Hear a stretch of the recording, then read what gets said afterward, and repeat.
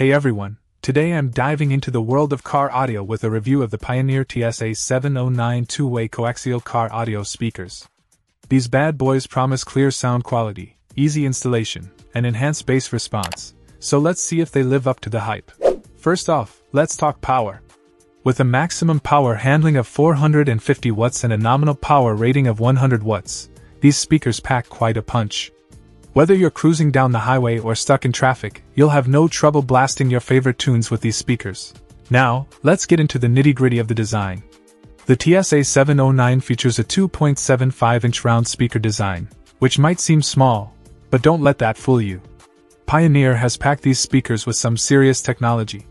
The 16mm polyetherimide tweeter with neodymium magnet ensures crystal clear highs, while the 2 to 3 4 foot carbon and mica reinforced injected molded polypropylene IMPP cone delivers powerful bass without distortion. Installation is a breeze thanks to the coaxial design.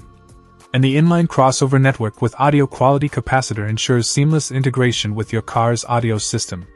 Plus, weighing in at just 0.54 pounds per speaker, these won't weigh your car down.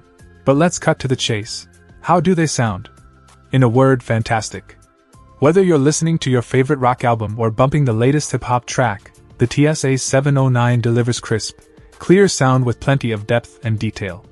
And let's not forget about that enhanced bass response. These speakers hit the lows with authority, giving your music that extra oomph it deserves.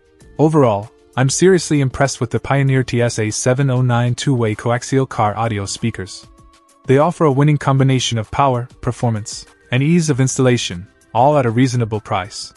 If you're looking to upgrade your car audio system, these speakers definitely deserve a spot on your shortlist. Check out the video description for updated price. And thank you for watching this video.